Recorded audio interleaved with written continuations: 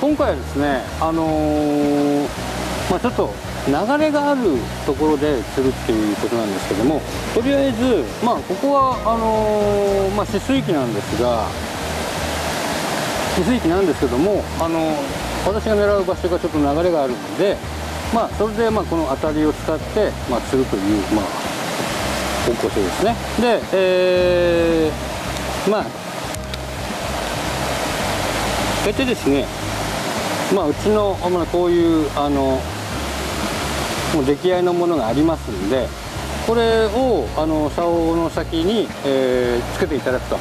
こんだけなんですが、えー、とりあえずこのこの輪っかの状態からこう手を通していただいてあのまあこうやってほどいていただくと。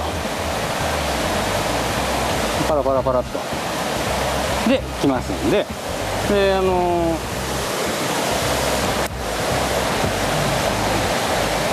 先っぽはこのスナップですね。スナップね。スナップをこの竿の先に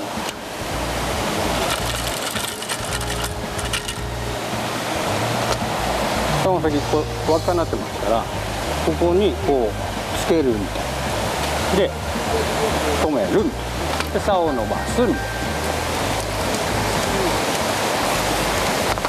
で今日は4.5メーターでやります。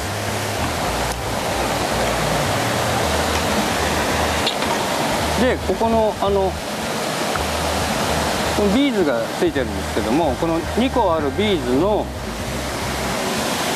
間にこの浮きの、えー、このスナップこれ取っていただいてこれをこの間にパチャンとはめると。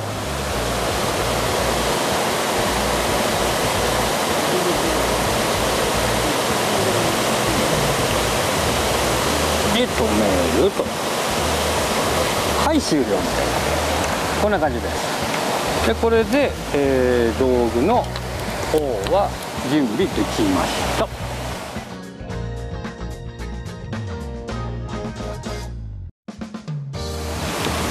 で餌はあのー、流れがあるんでこのノーマルの方の、えー、コバキ EX これを、えー、またいつものように、えまあ、カップ1杯おっとで2杯。でちょっとね、あのー、流れがありますんでちょっと水加減は通常よりもちょっと少なめみたいな感じで、えー、まあ、通常は大体1杯なんですけどもまあ大体1杯入れてちょっと余るぐらい。でいいかと思います。それでちょっとあの数分この状態で放置ということでございますね。で、えー、数分放置した状態の、えー、小バキ EX なんですけどもこれを、軽く軽くちょっと練っていただいて軽くあのちょっと練ってもらってその粉っぽさがちょっとなくなるぐらいかなぐらいで結構です。あんまりこう練り込んでしまうとまたちょっと良くないんでこうボソボソな感じなんですがあのこの粉っぽさがちょっとなくなるぐらいで OK だと思います。はい。こんな感じで OK です。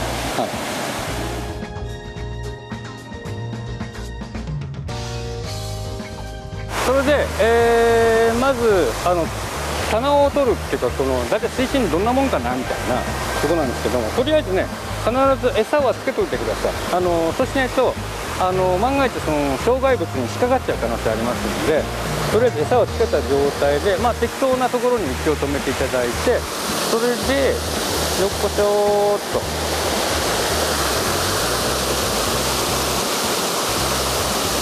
はい、あれ沈んでいきましたねどーって。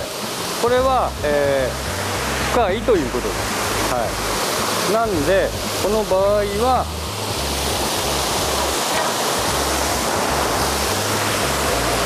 この黄色い糸をだからまあ目分量で、まあ、こんくらいかなみたいな。ところにやります。でもう一遍。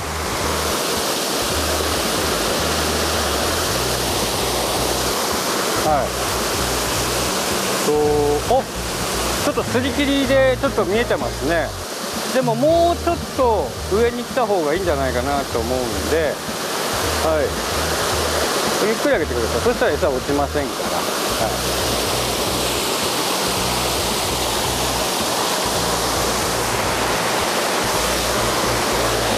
まああと1 0センチぐらいですかね。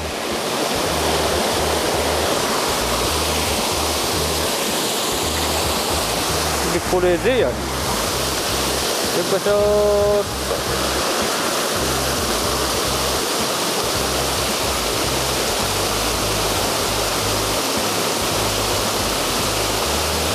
とまああんな感じでいいんじゃないんでしょうか。バッチグーです。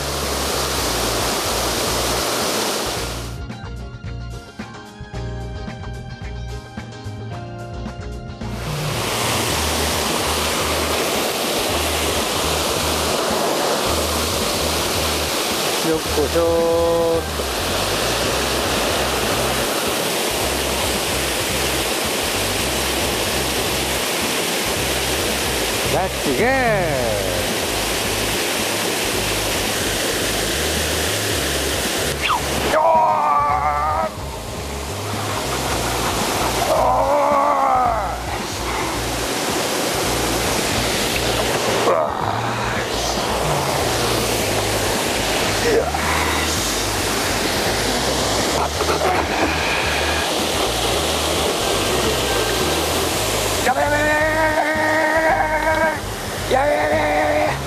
やべやべやべ。やべやべやべ。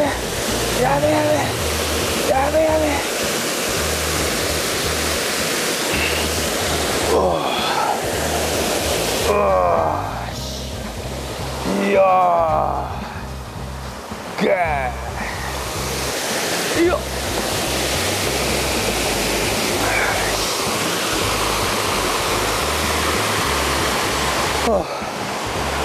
よし。網でございますですね。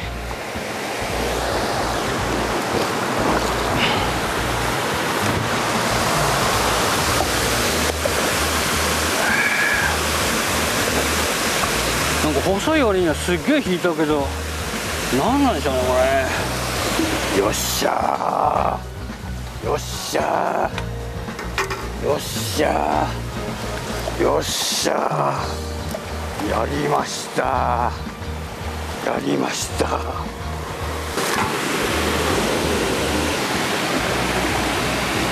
こんな感じです。こんな感じです。こんな感じです。こんな感じです。60ぐらいですかね。はい。こんな感じです。